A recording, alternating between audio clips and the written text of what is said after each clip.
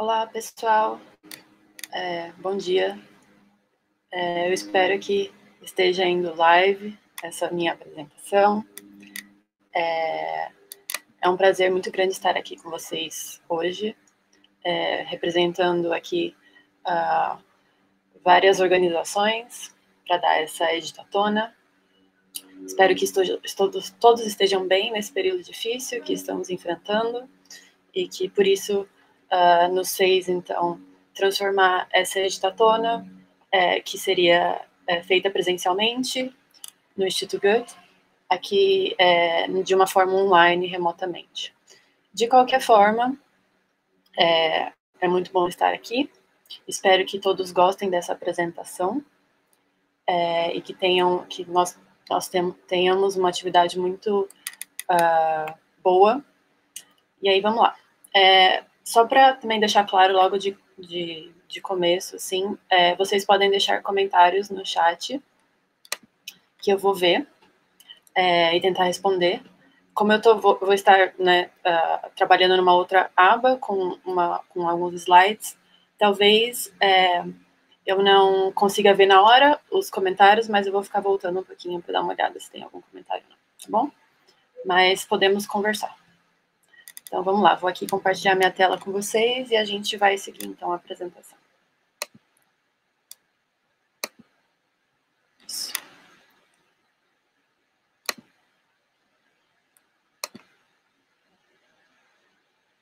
Bom, espero que todo mundo esteja vendo.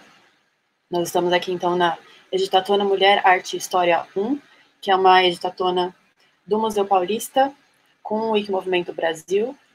É, nós estamos aqui numa parceria com a Fundação Banco do Brasil e numa realização USP, é, Fundação USP, Goethe Institute, e com apoio do Art and Feminism.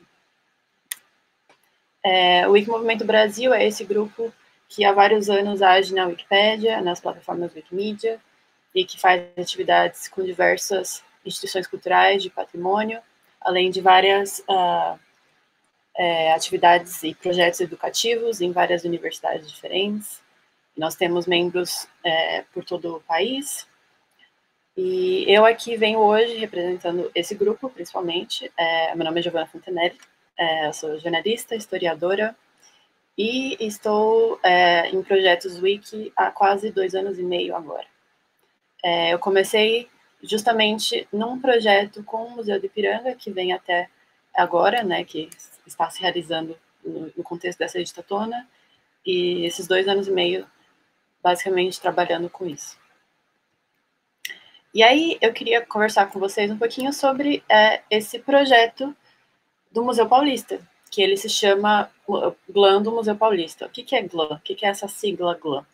Essa sigla é Galleries, Libraries, Archives and Museums, que é a sigla em inglês para galerias, bibliotecas, arquivos e museus, é, que se trata de uma colaboração entre instituições culturais, editores experientes do universo Wikimedia, a fim de disponibilizar e compartilhar seus acervos online sobre, sobre licenças livres para todo mundo. Ou seja, são projetos é, que, no contexto da Wikipédia, né, GlamWiki, é, compartilha dados e imagens uh, dessas instituições culturais a fim de melhorar a informação sobre essas instituições na internet, na Wikipédia e na internet, né, nas plataformas Wikimedia e na internet, uh, sobre essas instituições e também colaborar com conhecimento uh, disponível, educativo para as pessoas melhorar o acesso à informação na internet também, né? E claro que GLAM é uma sigla que, a, que não só existe no contexto Wiki, mas existe também no contexto geral.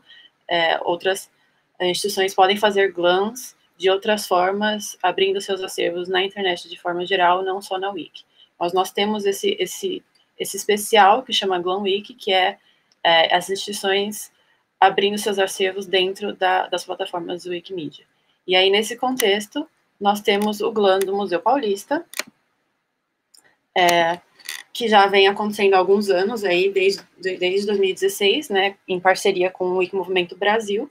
Nesses dois, nesses, nesses vários anos, é, foram mais de 23 mil imagens carregadas e disponibilizadas sob licenças livres no uh, repositório multimídia da Wikipedia, né, Wikimedia Commons, e também perto desse número de 23 mil uh, metadados disponibilizados, integrados e estruturados e até analisados no Wikidata, que é esse banco de dados aberto, livre e colaborativo, que é uma das plataformas que existem no universo da Wikipédia, né, no, universo da, das plataformas Wikimedia.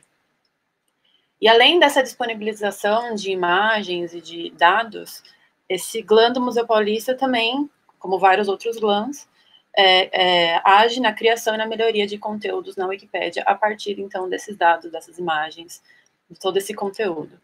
E aí é claro que, por conta disso, existem várias é, é atividades educativas que acontecem no contexto dessa parceria, né?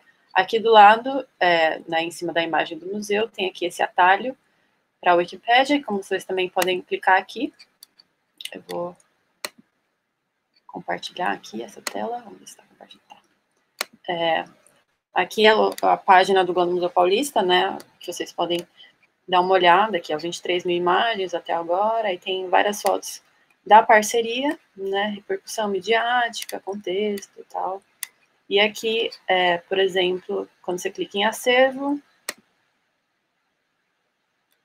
nós temos aqui várias possibilidades de é, lidar e mexer com a coleção que está disponível na Wiki do acervo do Museu do Ipiranga. E uma coisa muito interessante, é, além de várias outras coisas que foram feitas né, nesse contexto, é que aqui temos todas as pinturas do Museu Paulista, E aqui vocês podem ter, então, acesso a todas elas. E aqui do lado tem uma, né, uma, é, uma versão audível de algumas pinturas, que é, foi um projeto muito legal feito, uh, é, é um, um, projeto educativo, educacional, feito junto com a Faculdade de Casper Libero, é, em que a gente descrevia, então, algumas pinturas do Museu do Ipiranga. Então, só para vocês terem uma ideia do contexto educativo, então, do, desse projeto, que é muito legal, muito interessante. É, mas seguindo aqui com a apresentação. É, a gente está aqui, então, numa maratona de edição. Então, além de falar, né, claro, do Museu Paulista, que eu já falei um pouquinho e vou falar mais para frente também, um pouco mais, é, a gente está aqui para aprender a editar a Wikipédia. Eu imagino que assistindo a esse vídeo, talvez tenham já editores bastante experientes né, que provavelmente não vão precisar muito dessa, dessa explicação, mas também tem pessoas novas que estão chegando. Então, é, a nossa intenção é justamente ajudar essas pessoas a entender como que funciona, então, essa edição, né, e ajudar elas a entrar nesse universo que às vezes não é tão óbvio, tão fácil, e a gente precisa, então, de uma ajuda para entrar. E por que que editar a Wikipédia? A Wikipédia, ela é a principal é, o principal local que as pessoas hoje em dia procuram por informação. Ela tem um papel fundamental na forma como as pessoas acessam conhecimento. É, todo mundo aqui sabe que quando você joga um assunto no Google, o primeiro resultado, muito provavelmente, é uma página da Wikipedia. Então, por isso, é, a Wikipedia se torna um dos sites mais acessados do mundo, e é muito interessante porque não tem fins comerciais, né? Então, é por isso que ela, o Google acaba colocando as páginas da Wikipedia em primeiro lugar na pesquisa porque ela, ela, ela não tem fins comerciais, tem um fim educativo ali, é uma enciclopédia colaborativa, então aparece em primeiro, local, em primeiro lugar. E aí, então é um dos sites mais acessados do mundo, geralmente fica entre o quinto site mais acessado e o décimo site mais acessado, depende do país, do local que você está ali é, falando especificamente, mas geralmente a Wikipedia fica nesse, nesse local. Além disso, uma coisa é, bastante interessante de, de, se falar é que a permanência numa página wiki ela é de quatro minutos. É, são, é, uma pessoa, né, uma pessoa que está lendo a Wikipedia, ela passa geralmente quatro minutos em uma página. E o que, que, é isso, né? A gente fala quatro minutos, a gente pensa assim, meu, isso não, não é um, um é, quatro minutos não é muito, né? Mas na verdade é. é em, em, tempos de é, né, de, de, mídias digitais, de plataformas, de redes sociais, é, a nossa atenção está cada vez mais é, disputada, né? Então, é muito comum as pessoas, por exemplo, só lerem a chamada de uma notícia no jornal, de uma notícia jornalística, ou então passar muito rapidamente uma matéria, uma matéria, as matérias costumam ser, tem, tem, tem sido mais curtas, né, até por, por é, priorizar essa rapidez da internet. E aí na Wikipedia as pessoas passam quatro minutos na página, em média. Então isso, na verdade, é um número bastante alto, e a gente consegue perceber, então, que a Wikipedia justamente tem uma, tem um, uma pegada diferente, assim, nesse, nosso universo digital atual, né. E além disso, o que é muito interessante também, é que a Wikipedia existe em mais de 280 idiomas. Então, ela está é, pelo mundo inteiro, né? As pessoas do mundo inteiro acessam a Wikipedia. E ela é uma, como eu disse anteriormente, uma enciclopédia que é uma plataforma colaborativa, ou seja, todo mundo pode contribuir nesses 280 idiomas. E aí, no caso da Wikipedia em português, nós temos mais ou menos um milhão de artigos e mais de 5 mil editores ativos, né? O que é muito legal também, porque faz a nossa língua português uma das principais da Wikipédia e uma das mais acessadas e uma das que mais se escreve.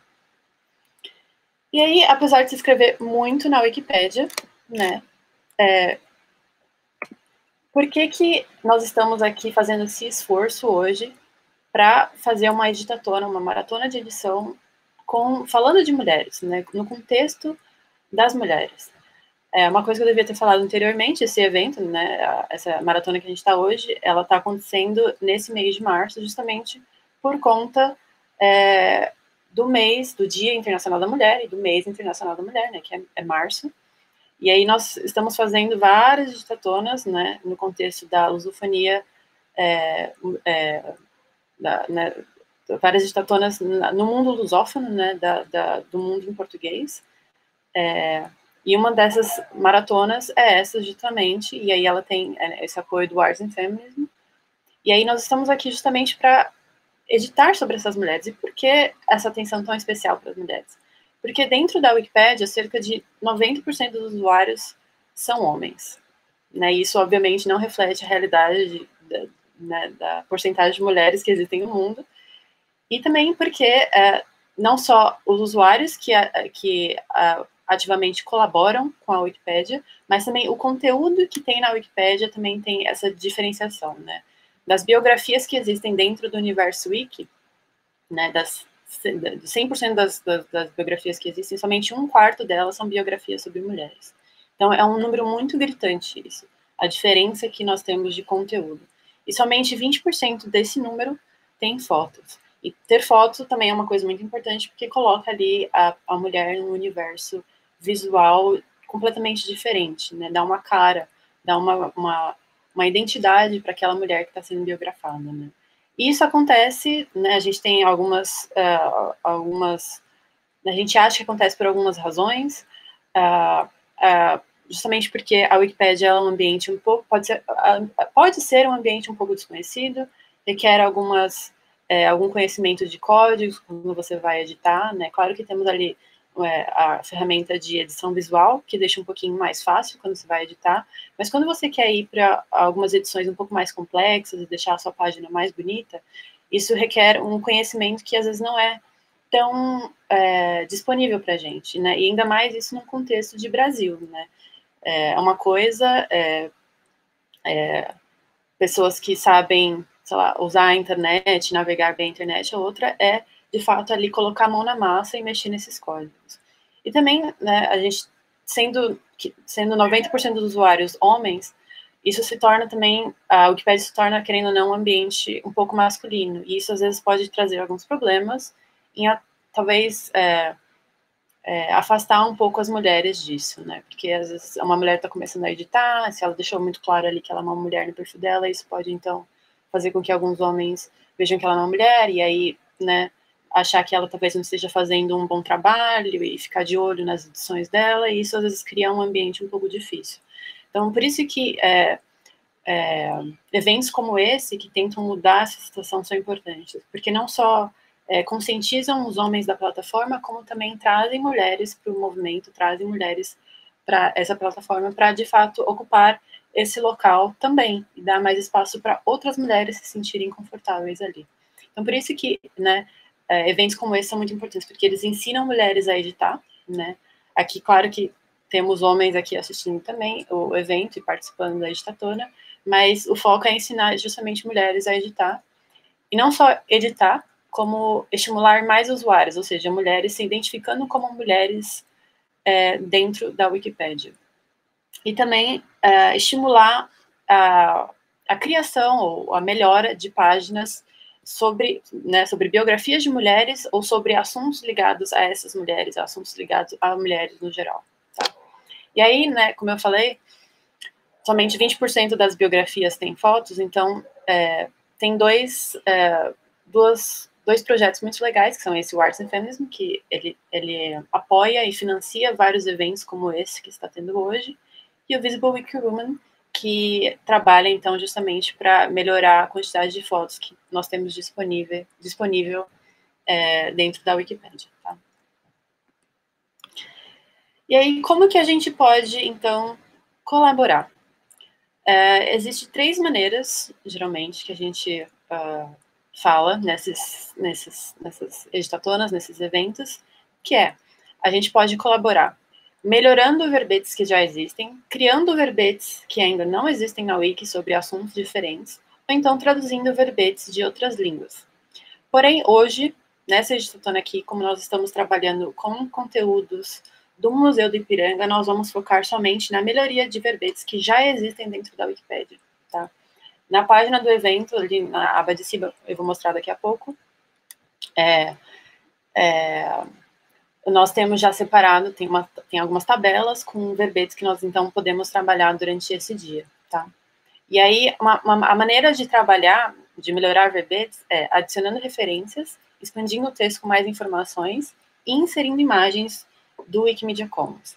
Talvez seja um pouco difícil hoje inserir imagens do Wikimedia Commons, justamente porque, como a gente já vem nesse trabalho com o Museu de Ipiranga há muito tempo, é, as imagens já estão no Commons e elas já estão sendo usadas já estão né, sendo utilizadas nesses verbetes, nessas páginas. É... Estou checando aqui se não tem algum comentário. É...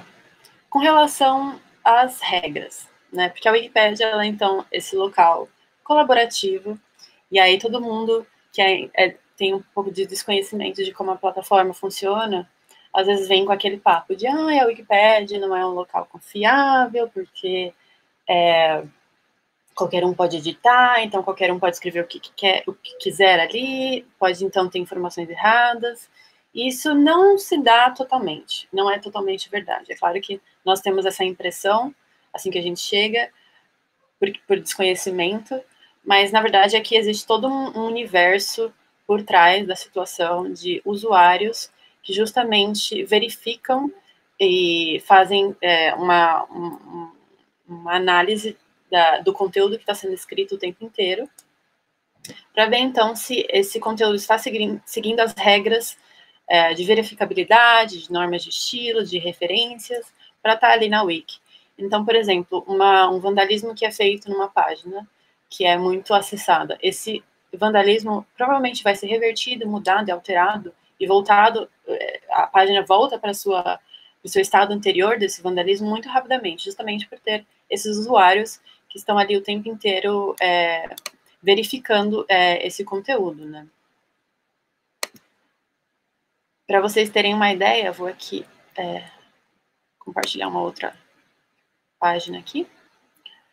Aqui, quando a gente entra na Wikipédia, nesse lado aqui esquerdo, Uh, tem várias páginas, né? E uma das páginas é páginas novas.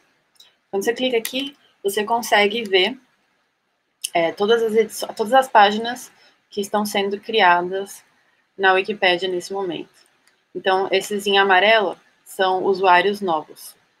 E os que não estão em amarelo são usuários mais antigos.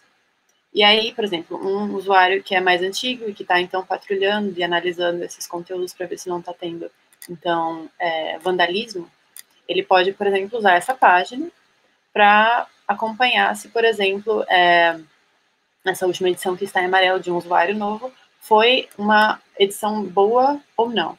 E aí, se for uma edição ruim, se for uma edição que não uh, trouxe referências ou que colocou, então, ali um, um, conteúdo que era inapropriado ou um vandalismo, ele pode entrar, dar uma olhada então reverter esse conteúdo. Então, a Wikipédia, ela está ali o tempo inteiro sendo uh, acompanhada, né? É um, é um, é um total... É, ali tem para, é, assim, tudo que você faz está sendo vendo o tempo inteiro, está sendo visto o tempo inteiro, né? Então é muito difícil que um vandalismo fique ali o tempo inteiro, fique ali né, para sempre, ou fique ali durante muito tempo. Ele vai ser em algum momento revertido. E aí é, é, é, é difícil que então as pessoas tenham acesso de fato a uma informação errada. Né? Pode acontecer, claro, está suscetível a isso justamente por ser uma plataforma que é aberta, colaborativa, mas a, as chances de que alguém vai lá e vai mudar esse conteúdo para o conteúdo certo são muito grandes também, né? Então, o que, que, a gente, o que, que a gente quer ali? É um conteúdo que colaborativamente é construído e que então tem mais chances de ter mais informações corretas e ser, e ser maior e mais rico, ou então vamos desistir porque tem algumas pessoas que fazem vandalismo. Né? Então não vale a pena, é melhor a gente arriscar e ter esse conteúdo grande, melhor e, e rico em vários aspectos, do que é, simplesmente desistir por causa de vandalismo de poucas pessoas. Né? Daí eu vou voltar aqui para a apresentação. Então, para editar, nós temos algumas regrinhas, né, como eu disse. Nós temos que seguir algumas normas de estilo, né, que são os padrões das páginas wiki. O que, que é isso, né? São, por exemplo, vamos abrir aqui uma página.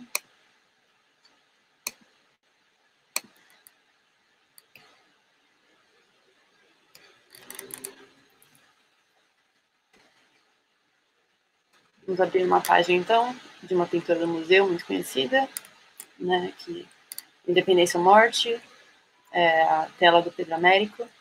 Se vocês é, olharem essa página, ela tem um estilo muito específico, como todas as páginas da Wiki, em que nós temos aqui uma introdução, que é bem grande, aliás, a introdução aqui dessa página, com uma caixa lateral de informações, esse, esse índice aqui, e aí essas seções, né, essas subdivisões.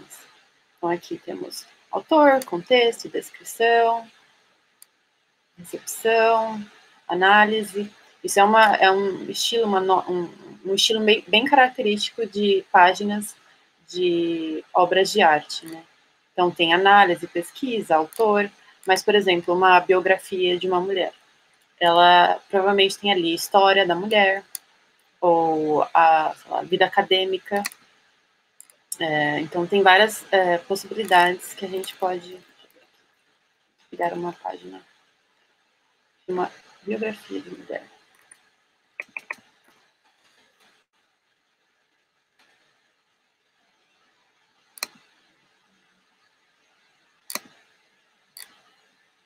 Por exemplo, aqui temos a página da Tarsila do Amaral, né? Como eu disse, também tem uma introdução, um índice e essa caixinha aqui do lado. E aqui temos biografia, família, estudos, né? Esses sub, subseções que tem aqui. Representação na cultura, obras, que é uma coisa bastante importante, e referências, né? E várias outras, na bibliografia, também várias outras uh, sessões importantes que a gente tem que colocar necessariamente em, páginas do Wiki, né? como categorias, é, a referência é, é, é, importantíssima, eu vou falar já sobre isso, né? e algumas imagens aqui do lado, também é sempre bom, né? em páginas bastante grandes. E além disso, seguindo aqui a apresentação, é uma, uma outra norma é a verificabilidade, ou seja, todas as informações que são adicionadas é, pode ser checada e diferenciada por aquelas fontes que vocês estão usando. Ou seja, tudo, tudo que se escreve na wiki tem que ter uma referência. E essa referência, geralmente a gente fala, né, que para ficar em um estilo melhor, vai no final do parágrafo. Pode ser também no meio do parágrafo, se o parágrafo for muito grande, mas a nossa regra é que, né, uma regra ali é, de estilo meio que é, acertado pela comunidade, no final do parágrafo é um, é um bom local justamente porque a gente sabe que toda a informação que vem atrás dessa referência, é, do parágrafo para trás, ela é equivalente a essa referência, né? Então, por exemplo, aqui nesse, nesse parágrafo não tem uma fonte. E aqui, então, tem um, um sinal de que aqui essa informação não está referenciada, então alguém precisa, então, procurar uma fonte para pôr aqui e, de fato, verificar se essa informação faz sentido de acordo com a fonte. Então, é o tempo inteiro essa informação sendo ali é, referenciada e checada e verificada, né? Nenhuma informação está à toa na, na Wiki. Além disso, mais duas outras regrinhas muito importantes. É, não se pode fazer pesquisa inédita e colocar pesquisa inédita. É, colocar não, pesquisa, colocar pesquisa inédita não, fazer pesquisa inédita na Wikipédia. É sempre muito importante que a gente procure fontes é, certas. O que, que, é isso? Que não sejam fontes primárias de informação. Por exemplo, a gente vai, é, se a gente estiver tratando de uma mulher que ainda está viva e tem um site na internet. Nesse site dela fala várias coisas sobre a carreira dela, sobre a vida dela. Esse site não é uma fonte ideal porque é ela mesma falando sobre ela. Então, ela pode muito bem uh, mentir alguma coisa, ou então esconder alguma coisa, alterar alguma coisa. Quando nós, então, temos, por exemplo, fontes de veículos jornalísticos, matérias, pesquisas, geralmente essas fontes, que são fontes terciárias de informação, que são as fontes, então, ideais da Wikipédia, elas, elas passam por todo um processo, um trabalho é, de pesquisa e de é, verificação e checagem de informação. Então, a gente tem mais confiança de que essas fontes estejam, de fato, dizendo a verdade ou aquilo que é mais relevante sobre aquela pessoa. Então, é, geralmente a gente diz que as fontes é, que são mais apropriadas são essas, né? Fontes de veículos jornalísticos, e fontes de pesquisas acadêmicas.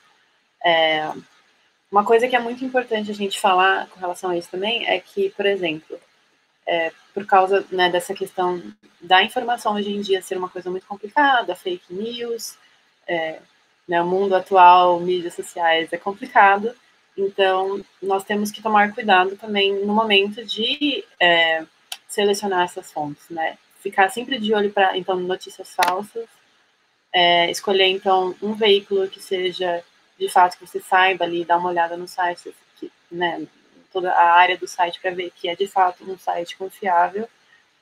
Então, também por conta disso, a gente acaba, então, não usando muito blogs na Wikipedia, porque blogs também qualquer um pode editar, e ao contrário da Wiki, que todo mundo pode editar, mas tem ali um processo de verificação, de fontes, de referência, e de vários usuários checando aquele conteúdo, um blog não tem isso necessariamente. Geralmente é escrito por uma pessoa só.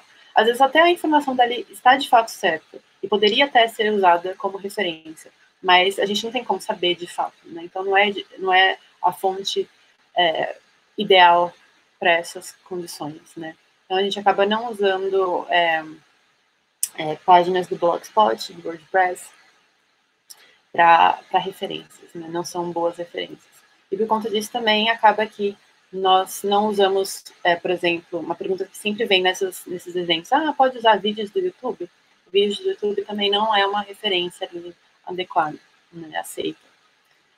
Além disso, uma coisa muito importante é a imparcialidade. Né? Nós estamos aqui numa enciclopédia é, em que várias pessoas escrevem e várias pessoas vão ler também. Então, ela não está ali é, para ter opinião. Né? A gente não está ali para colocar nossa opinião pessoal, a gente está ali meio que quase como um trabalho, entre aspas, né, jornalístico, de tentar chegar no meio termo, numa imparcialidade ali, para escrever sobre aquele conteúdo.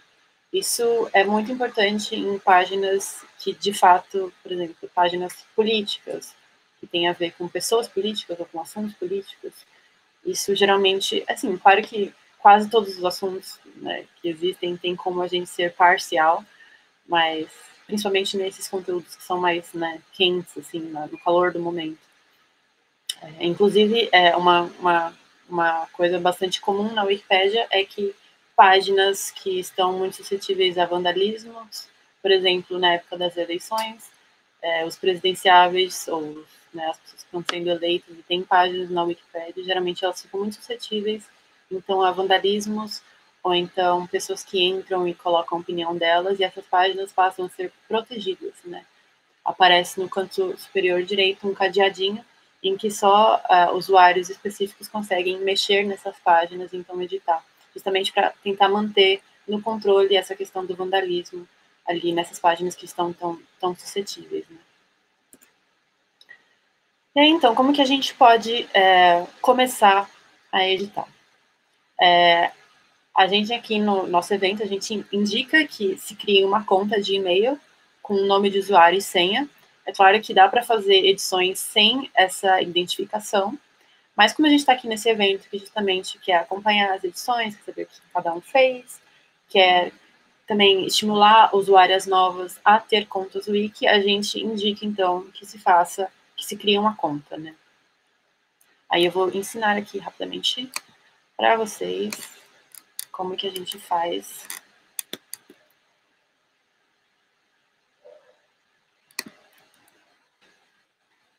que a gente cria essa conta. Vou compartilhar aqui minha tela.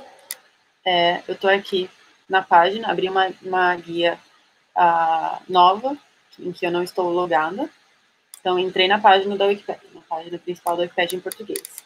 E aqui, no canto direito superior, temos uh, criar uma conta e entrar. Se você já tiver um, um login, você pode só simplesmente entrar, ou então você pode vir aqui em criar uma conta. E aqui né, tem várias informações para quem está chegando no Wikipedia, você pode então escolher o nome de utilizador, ó, já tem até o meu aqui. É, escolheu então uma senha, confirmar essa senha, colocar um e-mail, você vê até que é opcional aqui, justamente porque a Wikipedia tem esse, lado também de, da pessoa de ser, de ser meio anônimo, né? Tem muita gente que trabalha na Wikipedia justamente com essa, com essa opção. Inclusive, muitas mulheres acabam uh, utilizando a Wikipedia de forma meio anônima e sem, sem se identificar como mulher, justamente para evitar algumas uh, alguns problemas justamente por causa desse machismo que talvez exista ali na plataforma, né? E aqui temos a parte né, do texto, é, dessa verificação de segurança. E aí, fazendo isso, você cria a sua conta. E é isso, estamos... criamos a, a, conta, né? Fingimos que criamos aqui uma conta, e aí a gente entra e faz login, né? Só entrar aqui e é isso, é tudo certo. É, opa. Só um minuto que saiu a minha Aqui. Uh, além disso, como nós estamos aqui nesse contexto dessa, dessa atividade, é, nossa atividade, então, tem, tem, nós vamos fazer edições, então a gente tem que acompanhar essa edição, e nós temos também que nos inscrever, então, nessa atividade. Aqui temos um link para isso. Vocês podem clicar. É, aliás, esses slides já estão é, disponíveis na página do evento, se vocês tiverem é, acesso.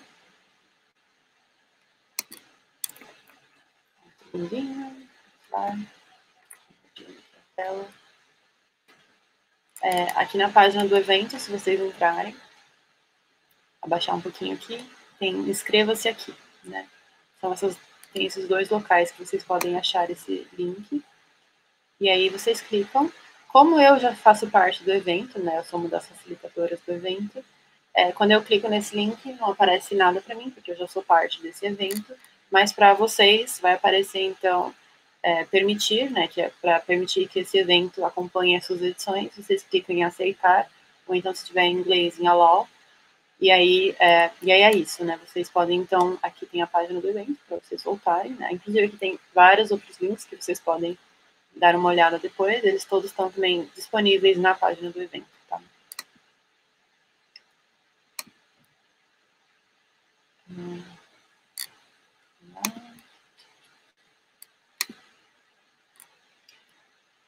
E aí, tá, você foi lá, se inscreveu no evento, é, e aí a gente quer, então, escolher um verbete da lista. Nós temos essa lista na página do evento para trabalhar. Então, a gente pode clicar aqui.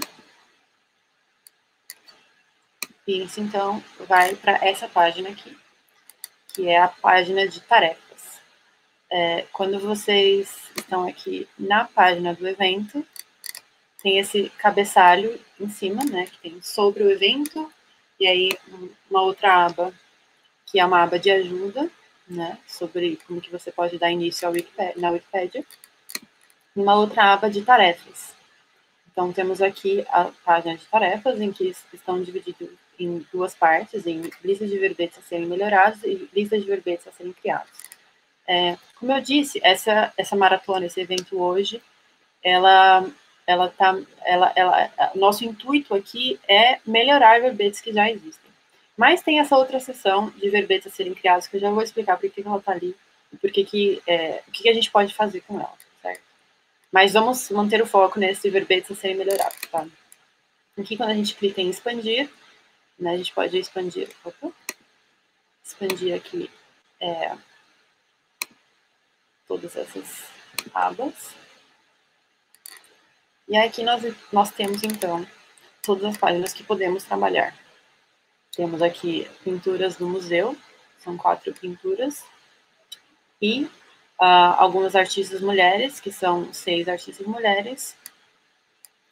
É, aqui figuras históricas que têm a ver, que têm a ver com, uh, com as, o contexto histórico do museu, né? Então aqui também seis uh, figuras históricas mulheres e alguma, algumas listas de pinturas que né, a gente tem disponível sobre essas artistas que estão aqui em cima. Né? Então, vocês podem escolher um desses conteúdos para trabalhar. Temos aqui é, o Wikidata, que é uma dessas uh,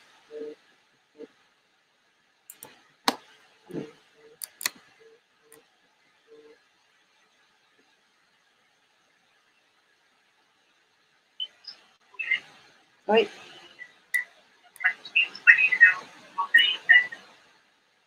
Desculpa. Desculpa, gente. Uh, vou checar se está indo tudo certo.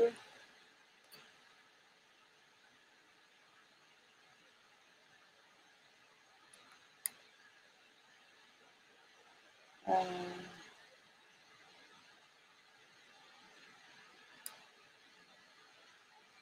A tela do computador não está aparecendo na live, vamos ver.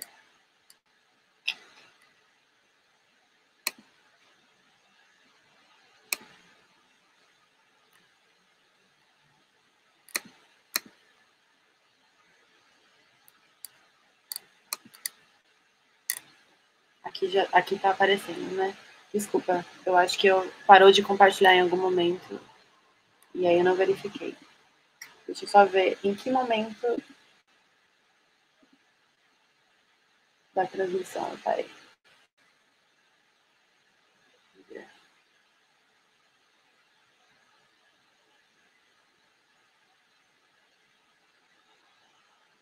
Para eu voltar, então, é, a mostrar para vocês. Desculpa, gente.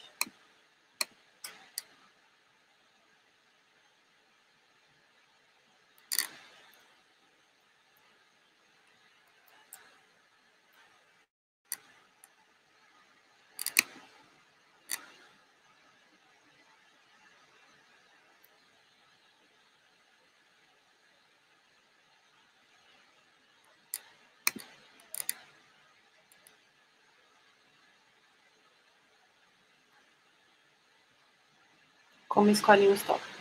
Então, vamos lá, vou voltar um pouquinho.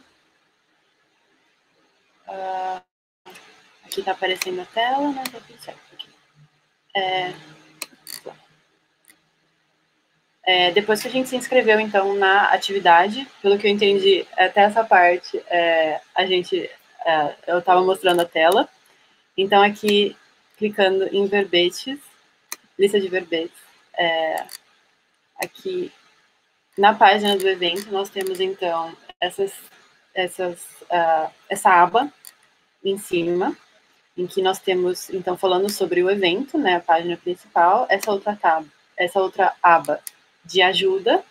Então, para quem está entrando é, na Wikipédia e quer alguma ajuda para alguma, alguma informação, alguns é, né, ajuda para começar. Tudo bem que esse evento é sobre isso hoje, mas caso vocês queiram voltar a isso depois, tem essa página. E tem aqui a outra aba de tarefas, então. Então, aqui a gente pode, é, aqui desse lado é, direito, é, abrir essas, essas abazinhas que estão aqui ocultas.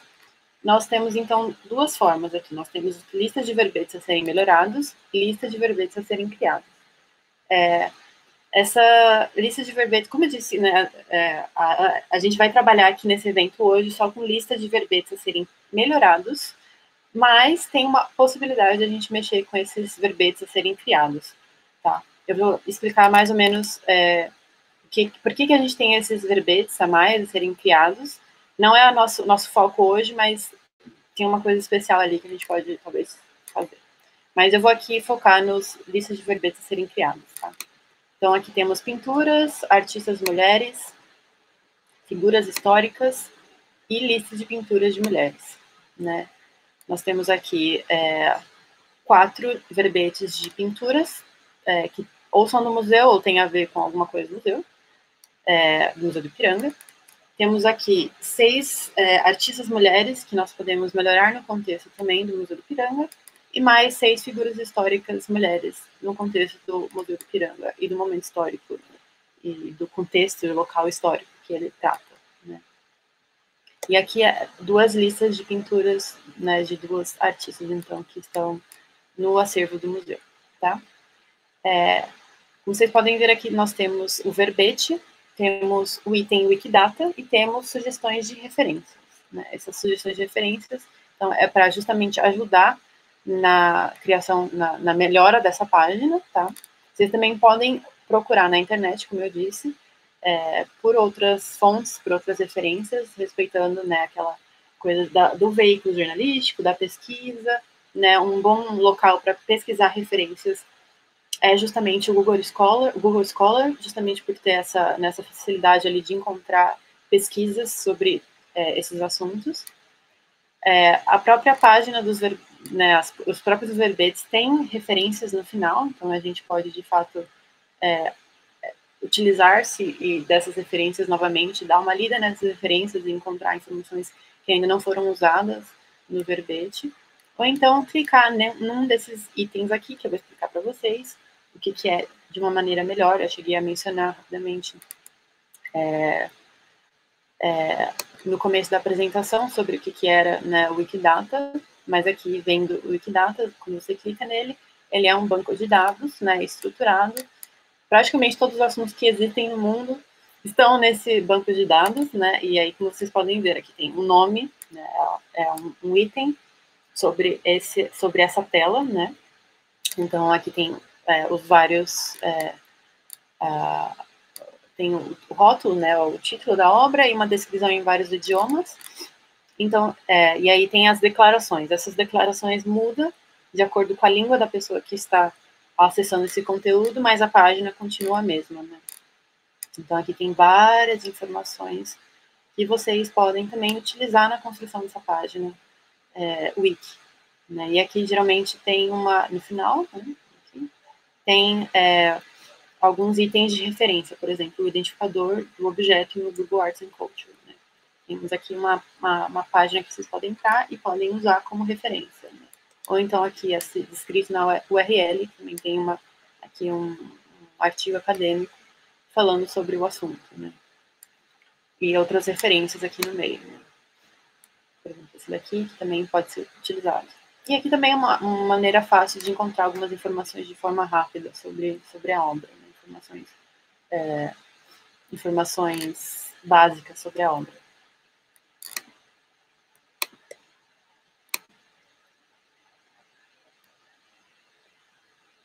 Além disso, como eu mencionei, nós temos então essa outra possibilidade aqui, que é a lista de verbetes a serem criados, é,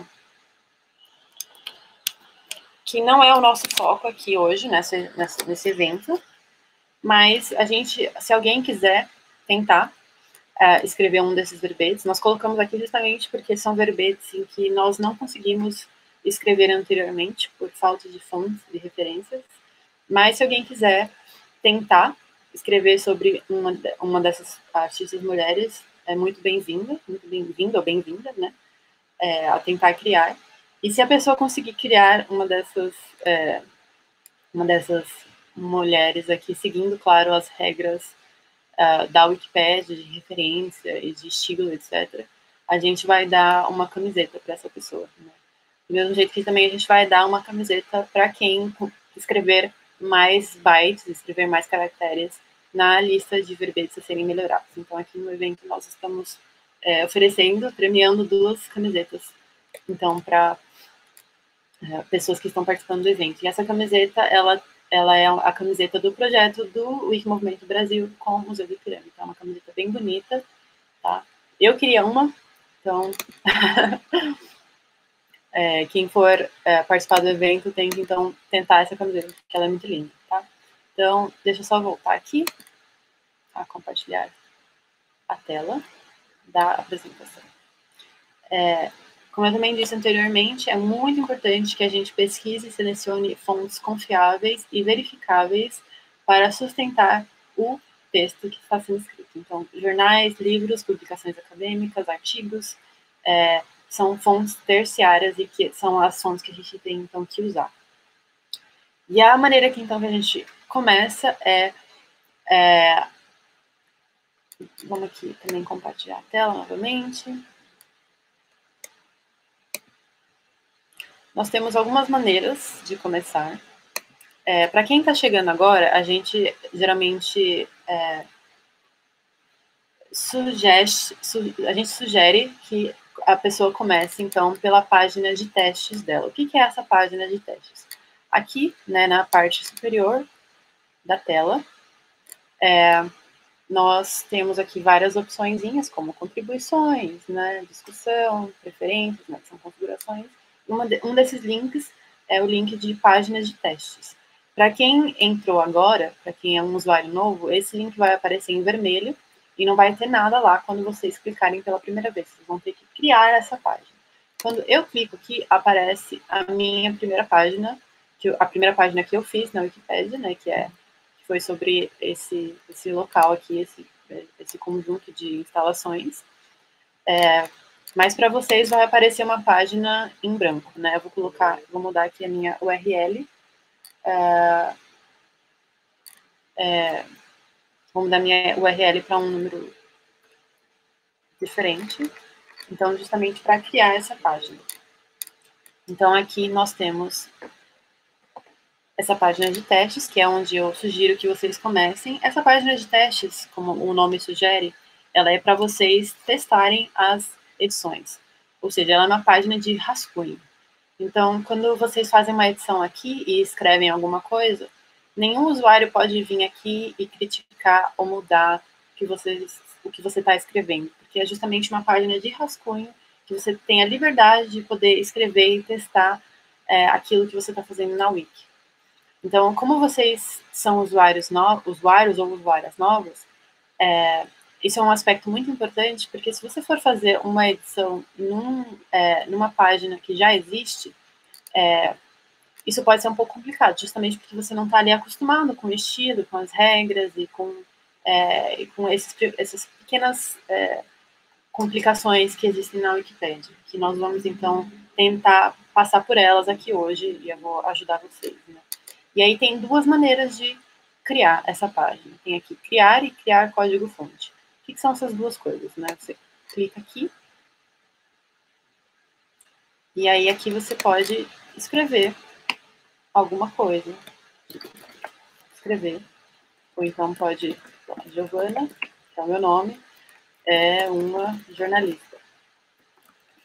Claro que aqui eu estou escrevendo sobre mim, mas né, não, não é o ideal, né? Eu não, nunca faço isso, não, é o que você tem que fazer nessa página de testes.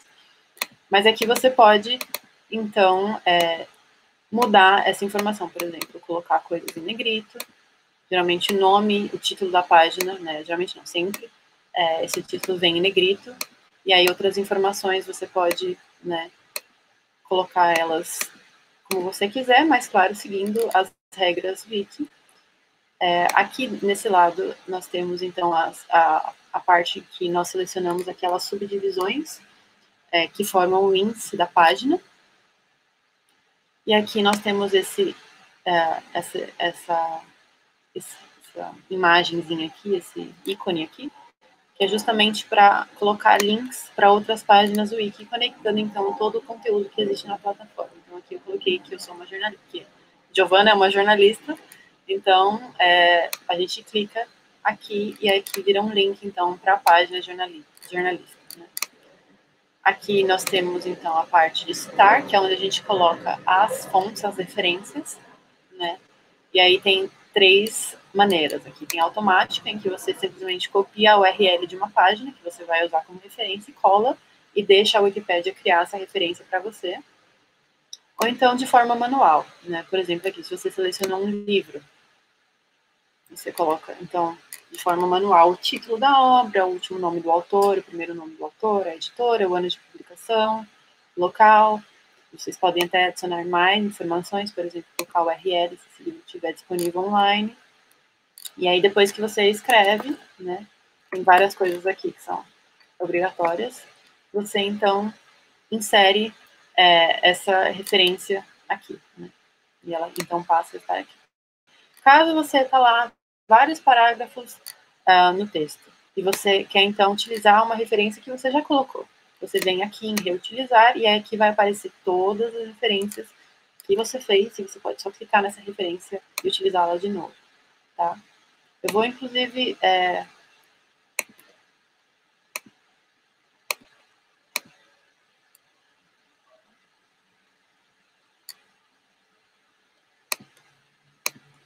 Vou, inclusive, mostrar isso numa página que já tem textos escritos, justamente porque nós vamos aqui trabalhar hoje é, em verbetes em páginas que já são já, já existem na, na Wikipedia, né? Então, por exemplo, vocês entram aqui em editar e aqui vocês podem, é, de forma bastante simples, fazer é, alterações nessa página. Né? Então, por exemplo, aqui, a, a São Paulo. São Paulo não está é, com um link para a página de São Paulo né? Então a gente pode colocar aqui. Eu não sei se a pessoa que tá que escreveu essa página escreveu São Paulo querendo dizer a cidade ou o estado, mas vamos supor que ela escreveu sobre é, no contexto da cidade de São Paulo. Então a gente seleciona a cidade de São Paulo e coloca então aqui cidade de São Paulo. Então século XIX, por exemplo, também é uma opção. É, a gente pode então também selecionar outras além de descrição e contexto, eu quero colocar um parágrafo, um, um, é uma seção de histórico. Então, eu posso vir aqui e colocar histórico. E aí, escrever alguma coisa sobre o histórico dessa obra. Né? Tem outras coisas aqui, como também é, marcadores, é, temos aqui algumas pré-definições para imagens, é, tabelas. Aqui do outro lado temos é, categorias, configurações avançadas, isso tudo também a gente pode mexer. Mas se você for um usuário novo, acaba que você fica justamente mais é, nessas é, opções principais aqui, né? Então, aí uma outra opção também é a edição em código fonte. Como né, aqui a gente está lidando num contexto que talvez tenhamos muitos usuários novos, é, eu não indico é, essa opção, porque é justamente mais complicado. A não ser que você já tenha um certo conhecimento sobre o assunto, sobre essa, sobre esse tipo de edição. É, então, assim, se você tiver, claro que vai fundo, é, pode fazer que não tem problema, mas é, a gente não não sugere esse daqui. Claro que, por exemplo, se você tiver na sua página de testes e aí você é, você aqui escreveu todo o conteúdo que você quer colocar naquela página que nós que já existe, que nós estamos melhorando. Né? Você escreveu um parágrafo sobre algum assunto. E aí você terminou de escrever e você quer então passar todo esse parágrafo para outra página. Você quer então levar as suas referências, quer levar os seus links. Então o que você faz é, é clicar aqui em criar código-fonte. E aqui vai aparecer então o código-fonte com né, todas as informações. Aí você pode vir aqui, dar um Ctrl C e ir então, vamos, vamos fingir que eu estou aqui escrevendo sobre Dama Paulista. É, e aí eu decidi, então, que eu quero colocar aquele parágrafo que eu escrevi aqui na seção histórica. Então, eu vou aqui e dou um Ctrl V e colo. E aí, depois, terminei, tá tudo certo, vamos fingir que está tudo certo. Eu vou aqui no resumo, escrevo o que eu mudei, e aí publico a alteração, tá? É, claro que também nós podemos aqui, antes de publicar a alteração, clicar em mostrar a previsão. E aí, quando a gente clica em mostrar a previsão, ele mostra é, como que a página está ficando, né? Está desse jeito aqui.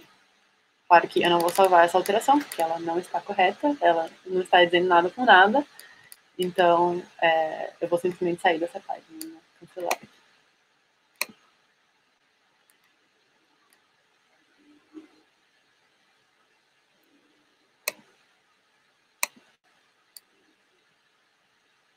Vamos lá.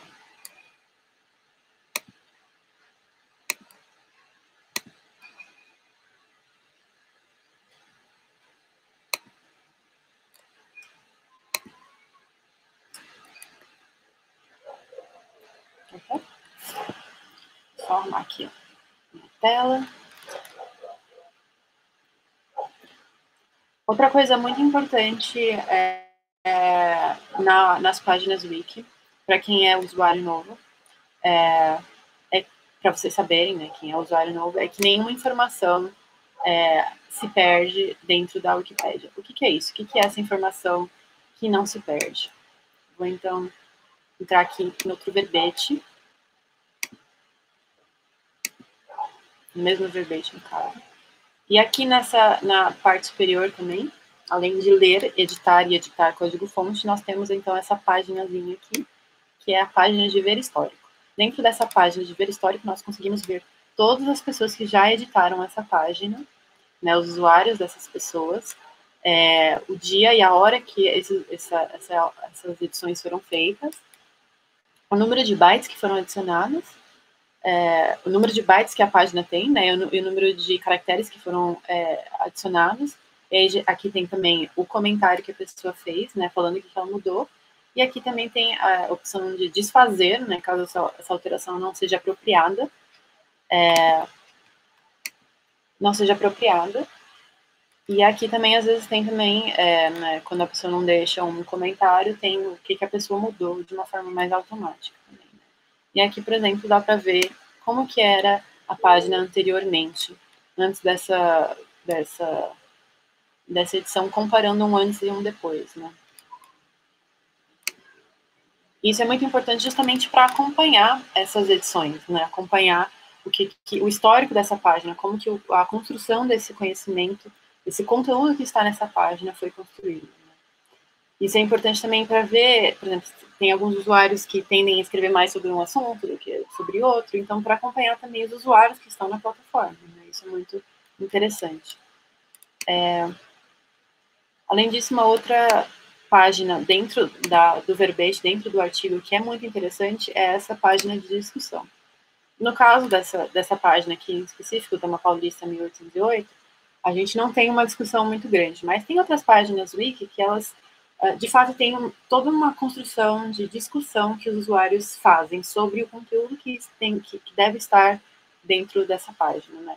E aí, então, justamente, é uma página, página de discussão, é uma página para usuários é, usarem, justamente para decidir o que, que entra e o que, que não entra é, nessa página. É, então, eu vou mostrar aqui uma página para vocês que eu sei que tem bastante.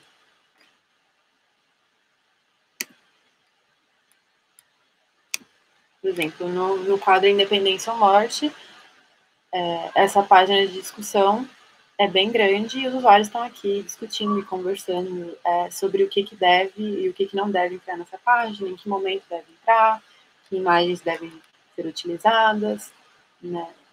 E aqui eh, as pessoas podem chegar na conclusão sobre algum assunto, em algum consenso também. Né? Então, é uma página justamente para os usuários interagirem. Né? É bastante importante também. E aqui é uma, é uma, é, são conteúdos que são feitos colaborativamente e tem que, então, entrar num consenso sobre alguma coisa, sobre o conteúdo que está sendo ali é, disponibilizado.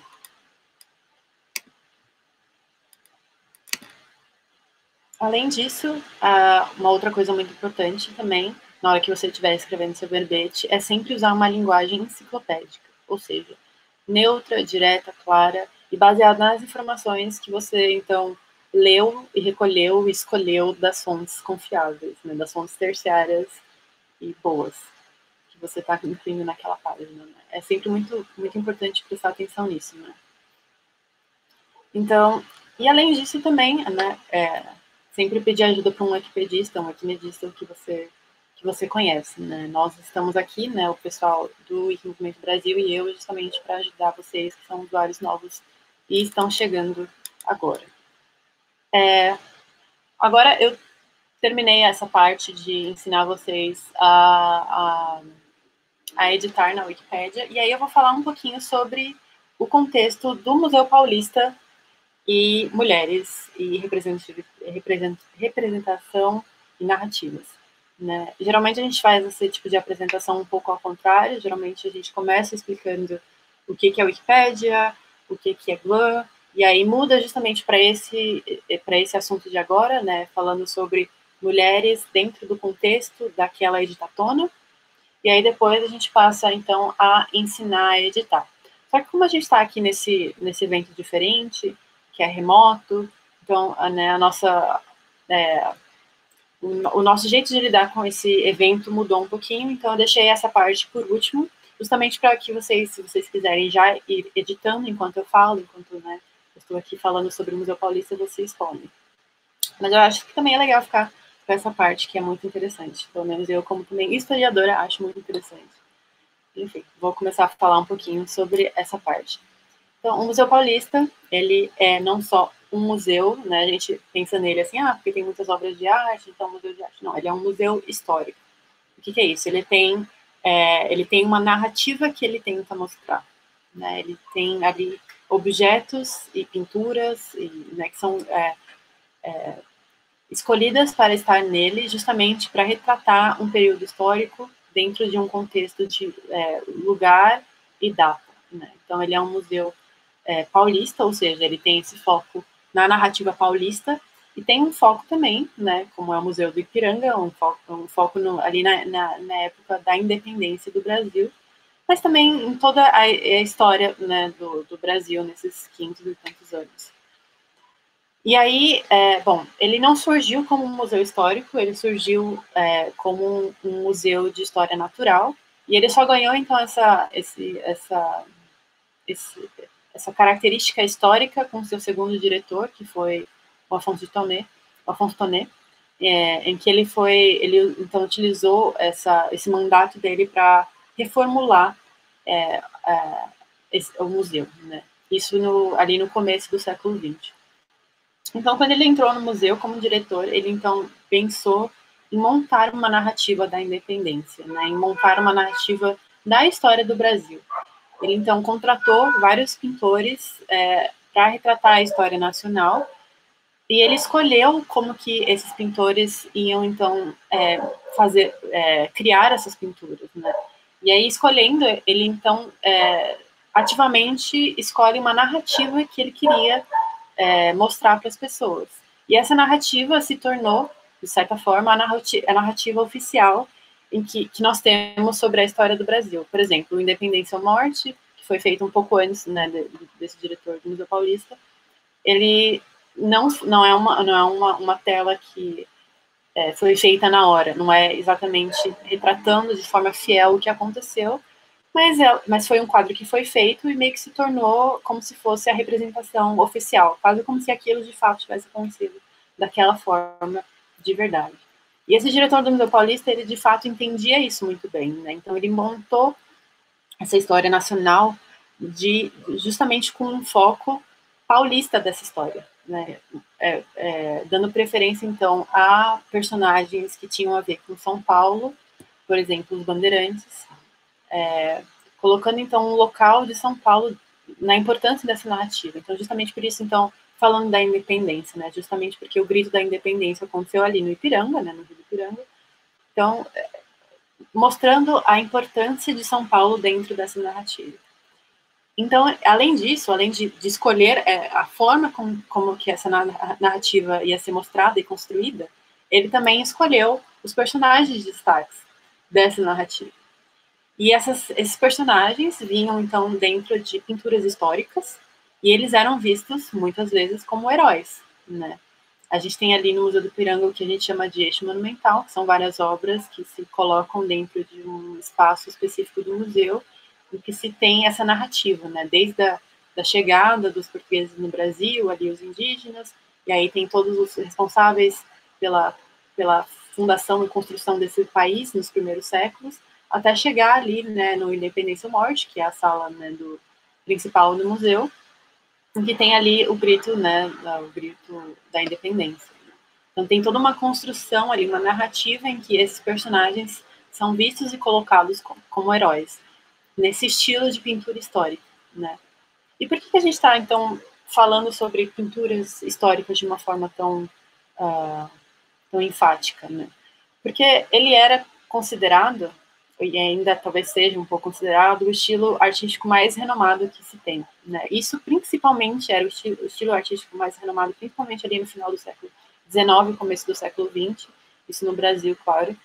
E ele era o mais renomado porque ele era considerado ah, pelas, né, pelas academias de belas artes o mais rígido em termos artísticos e tinha uma tradição francesa muito forte.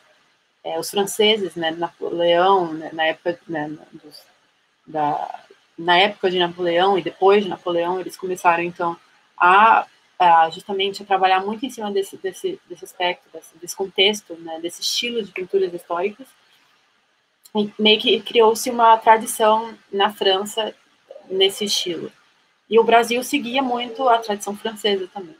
Então, aqui no Brasil, é, esses, essas pinturas históricas seguiam essa tradição. Muitas vezes os pintores que faziam as pinturas históricas no Brasil ou eram franceses ou então tinham estudado na França é, o estilo e as técnicas que se, que se ensinavam lá. Né?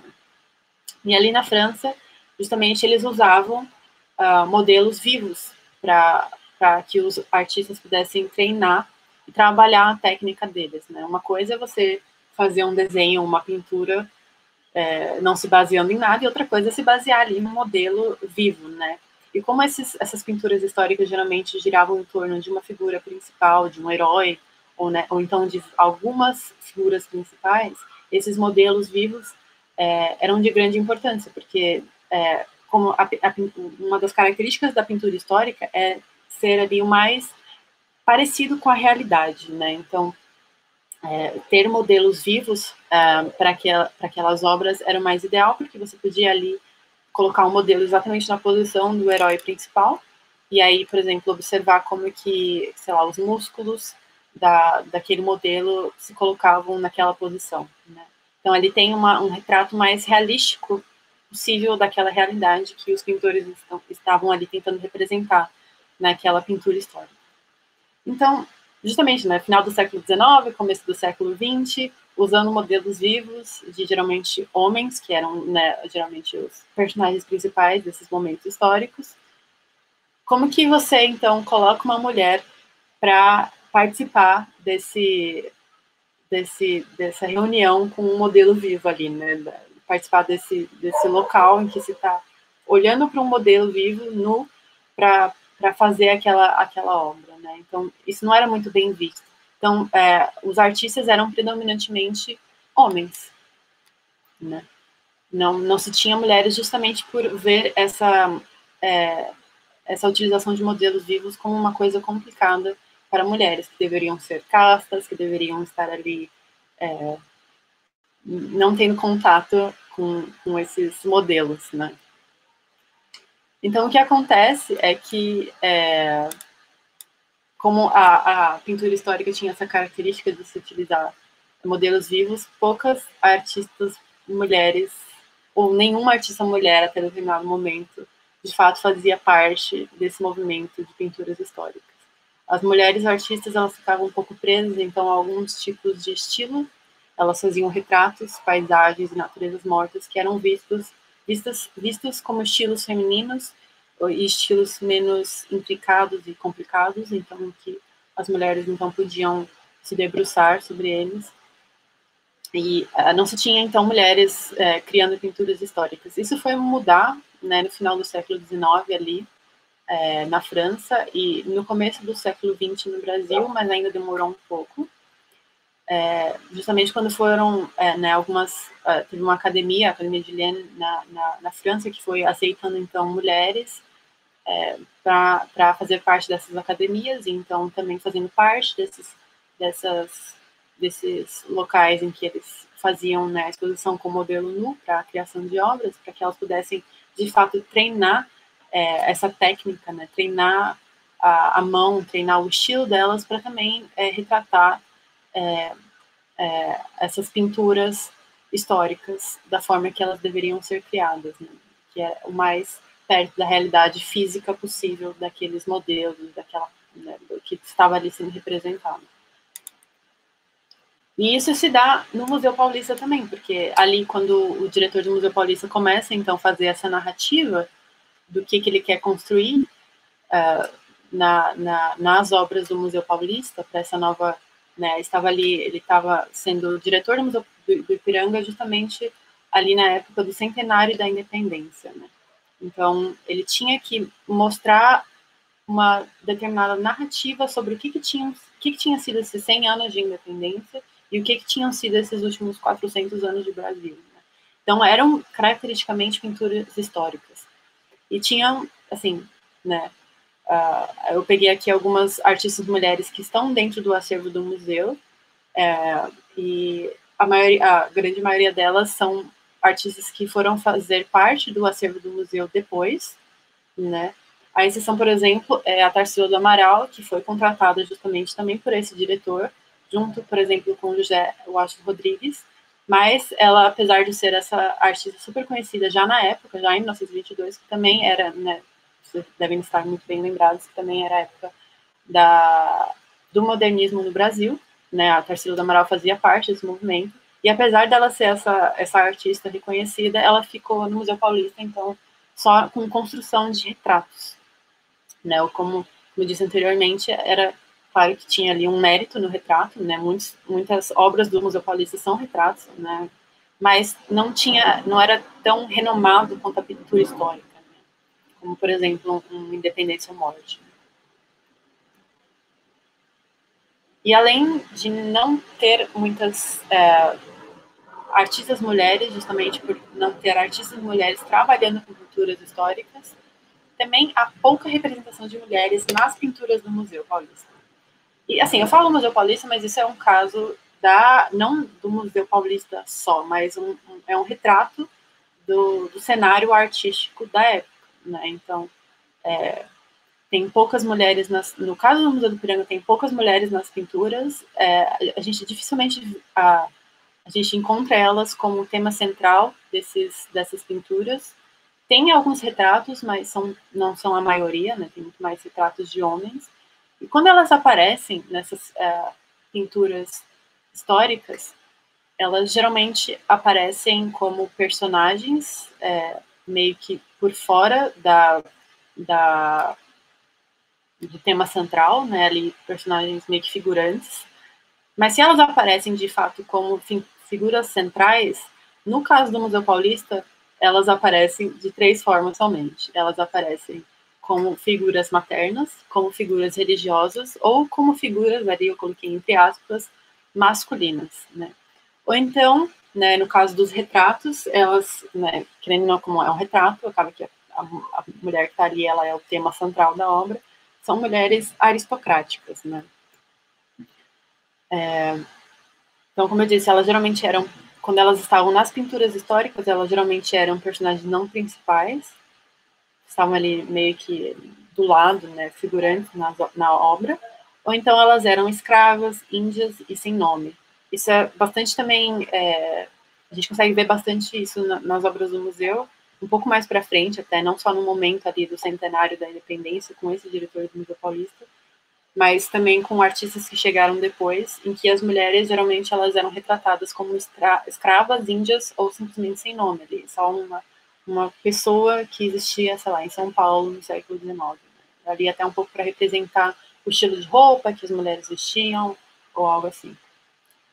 É, e quando elas é, apareciam como tema central, era também muito característico, além delas se encaixarem dentro dessas três, desses três temas específicos, né, de mulher, religiosa, né, ou masculina, elas, então, se elas não estavam dentro dessas três, elas estavam dentro, então, de uma de um tema em que elas eram caracteristicamente representadas como é, numa posição de sofrimento ou de angústia ou num local frágil, né, numa, numa pose caracteristicamente frágil e sofrida. É,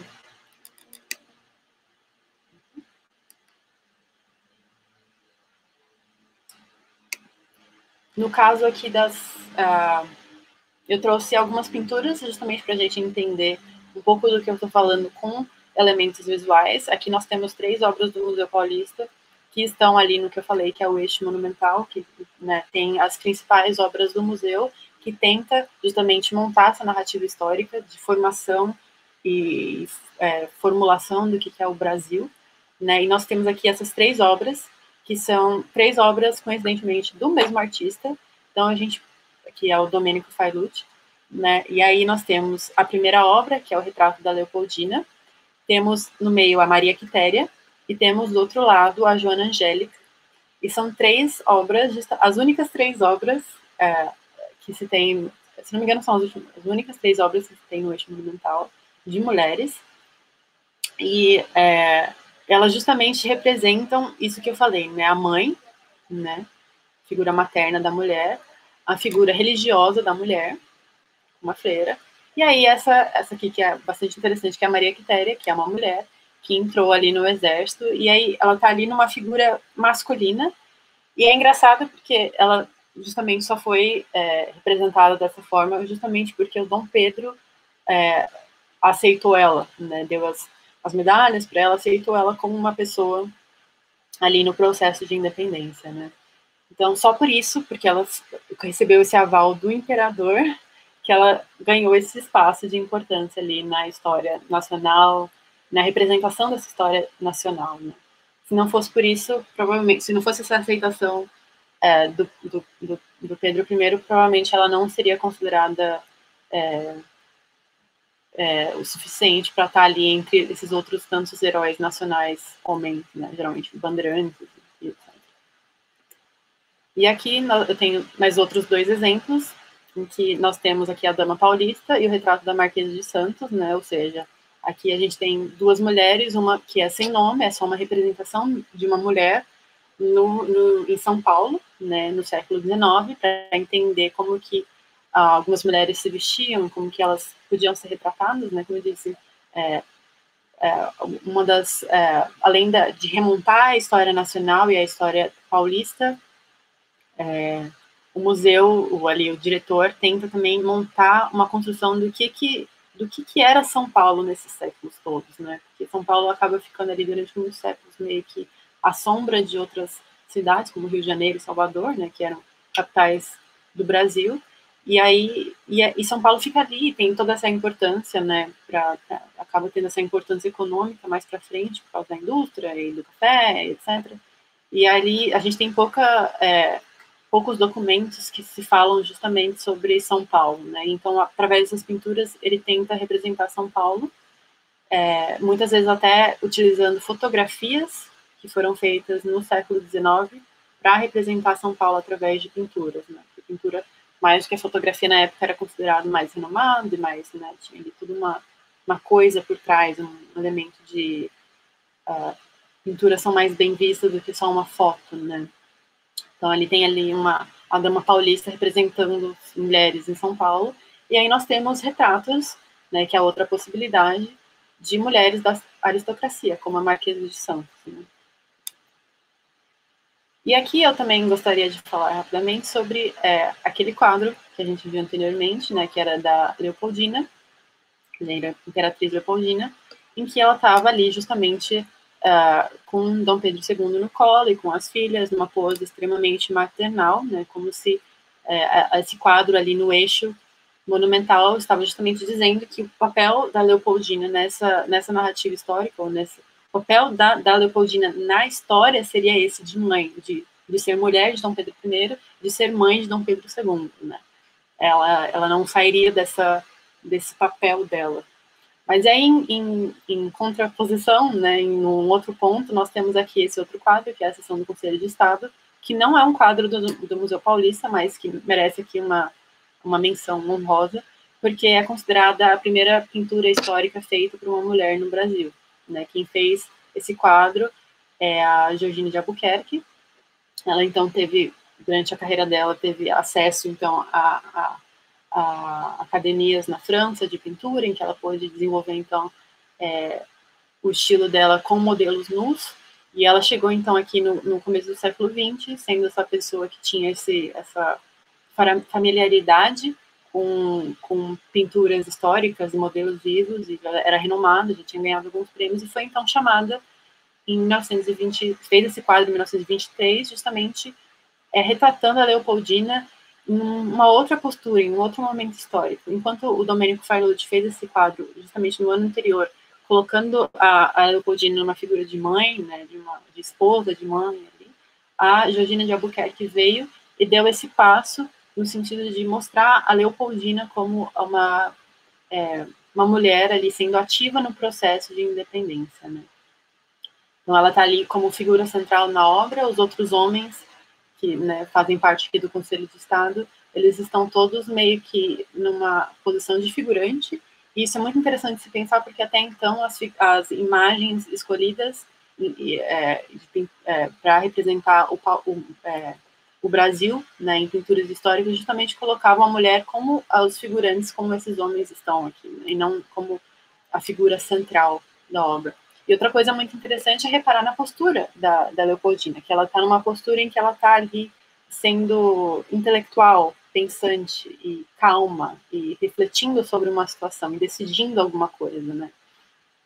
E não como uma numa postura de sofrimento, de angústia, né? Ou então, é, sei lá, fazendo alguma ação feminina, por exemplo, tocar piano ou, ou, ou pintar é, imagens de, lá, é, retratos ou naturezas mortas, ou fazer alguma atividade feminina. Ela estava ali sentada, sendo ativa nesse processo, né, e conversando no, com outros homens, né, colocando ela justamente no mesmo nível desses homens e decidindo alguma coisa.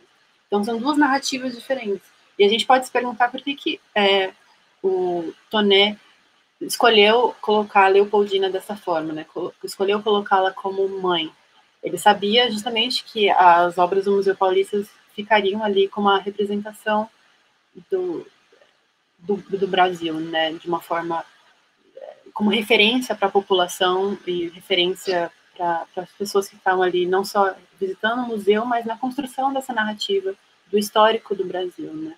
E por que, que ele não escolheu representá-la dessa forma que a Georgina, né, no, praticamente ali no mesmo ano fez, né?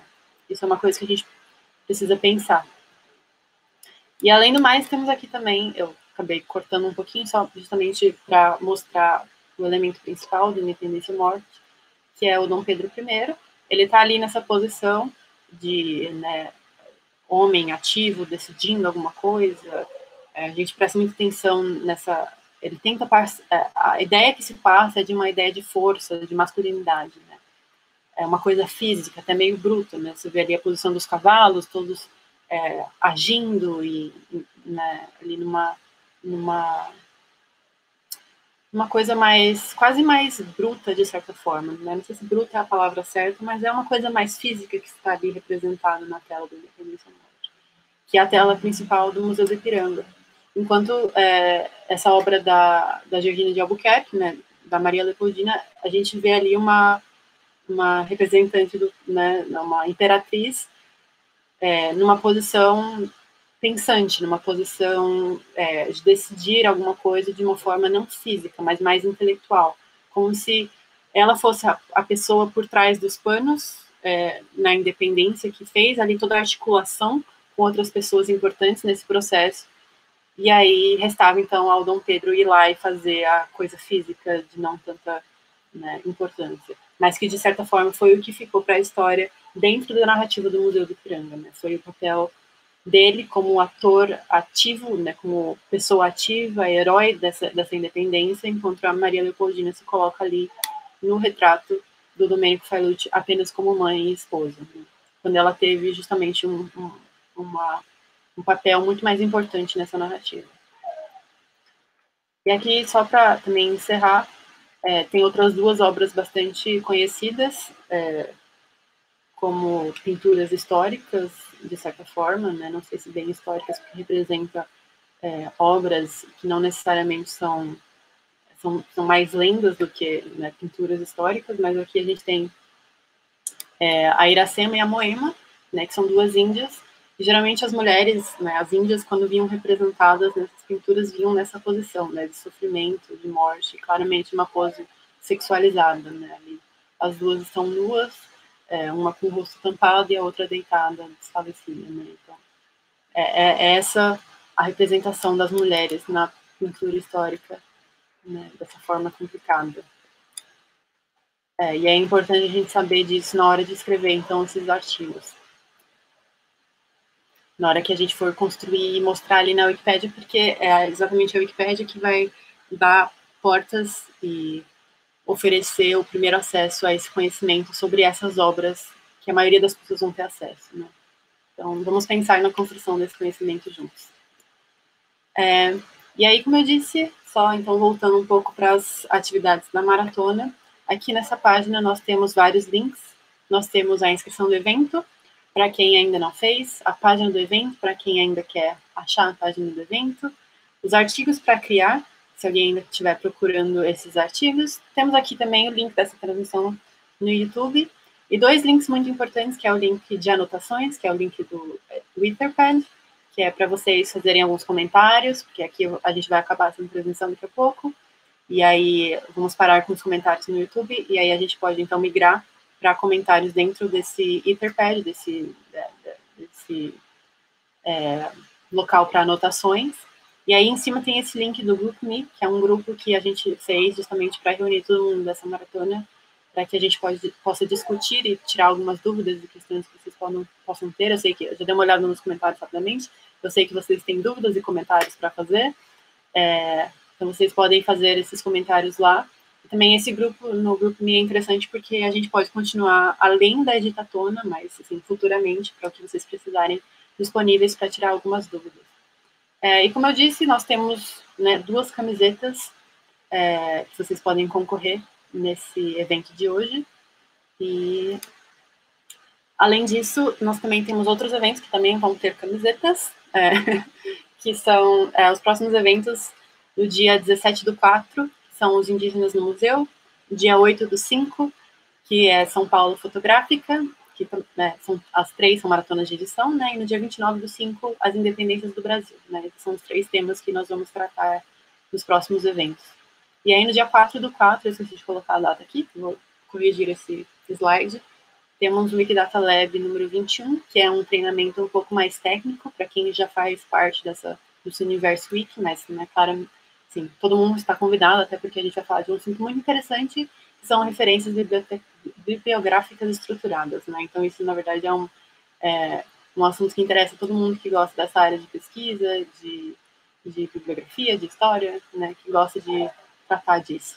Além disso, nós também estamos com um Wiki Concurso ativo, começou no, dia, no último dia 15, que é o Wiki Concurso Novo Museu de Ipiranga, e ele vai até o dia 15 do 6, né, dia 15 de junho, justamente para melhorar artigos é, que já existem também na Wikipédia, que estão no contexto do Museu do Ipiranga, né? Então, temos quadros, temos artistas, temos figuras históricas, temos movimentos, vários outros temas que podem entrar dentro desse grande universo que é o Museu do Ipiranga.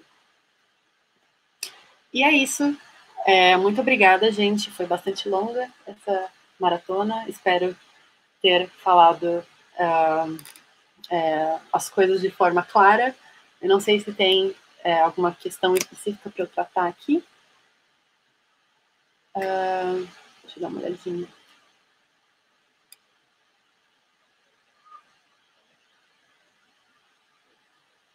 É, eu acho que as pessoas já estão respondendo, né, as suas dúvidas. Mas então eu deixo aqui é, o meu e-mail, caso alguém queira entrar em contato comigo. E deixe também, ó, gente, entrem nesses links, então, para a gente poder entrar em contato, tá bom? Sobre tudo que tem a ver sobre esse evento e ajudar vocês nessa, nesses, nessa tarde, tá? Muito obrigada e vejo vocês logo, espero, num evento presencial, de preferência.